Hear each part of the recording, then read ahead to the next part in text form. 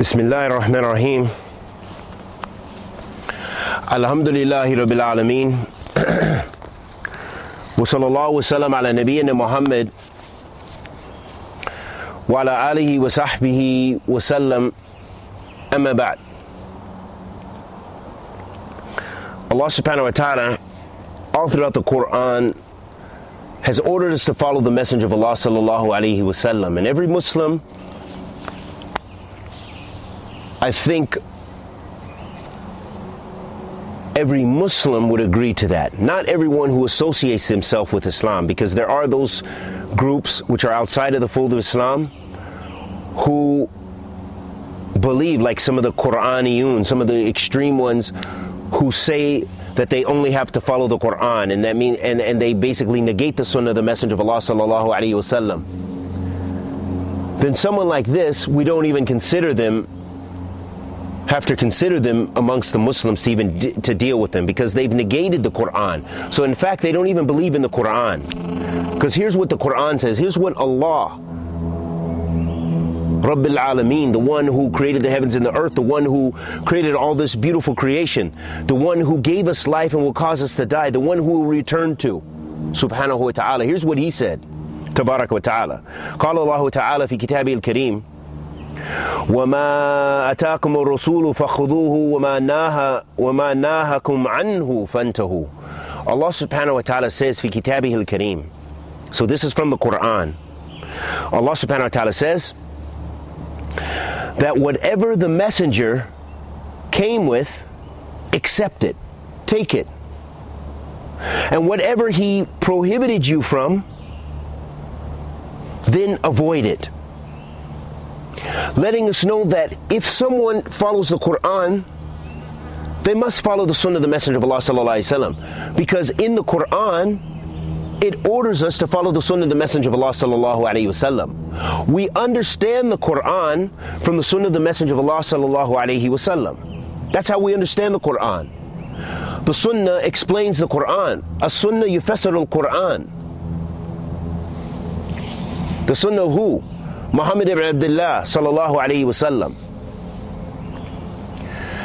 So Allah orders to follow the messenger to, to accept whatever he came with and leave whatever he prohibited us from. Letting us know that the messenger of Allah sallallahu alayhi wasallam was a legislator.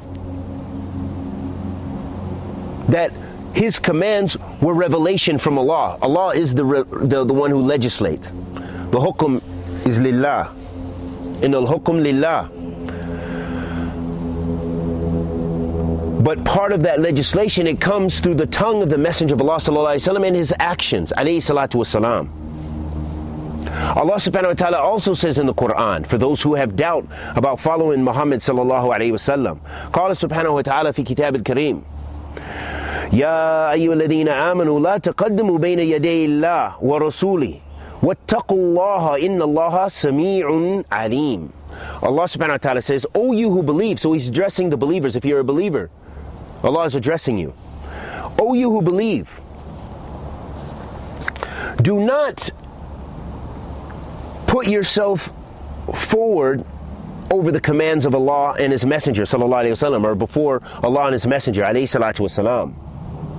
And fear Allah. Verily, Allah is all hearing and all, all wise. He knows everything. All, all, all, hearing and he sees and he hears he sees and hears everything and his knowledge encompasses everything. Subhanahu wa ta'ala. Allah subhanahu wa ta'ala says ya ayyuhalladhina amanu uh, ya amanu wa atiyu rasul. All throughout the Quran Allah subhanahu wa ta'ala says that. O you who believe follow Allah obey Allah and obey his messenger alayhi salatu wasalam that's what we've been ordered to do that is the what the believers do.